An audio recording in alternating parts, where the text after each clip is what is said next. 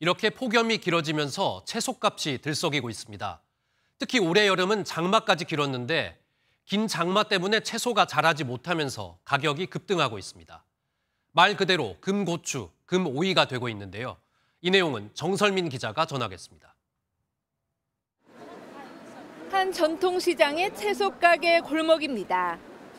뭉개진 파프리카와 시든 호박잎 등 할 수 없는 상품을 골라내고 있습니다.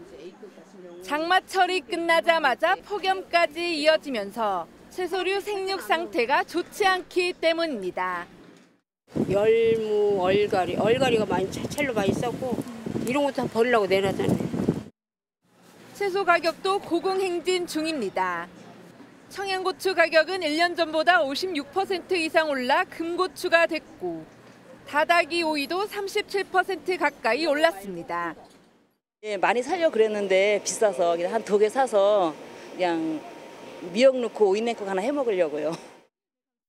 파프리카 가격은 일주일 만에 무려 31%, 배추는 8% 넘게 올랐습니다.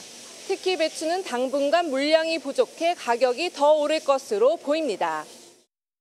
정부는 채소 가격 급등을 막기 위해 안간힘을 쓰고 있습니다. 채소류 생육 관리를 강화하는 한편 비축해둔 물량을 추가로 풀어 수급 안정에 나섰습니다. 하지만 한동안 폭염은 계속될 것으로 예상되면서 더위로 인한 물가 상승, 히트플레이션 우려까지 나오고 있습니다. MBN 뉴스 정세민입니다.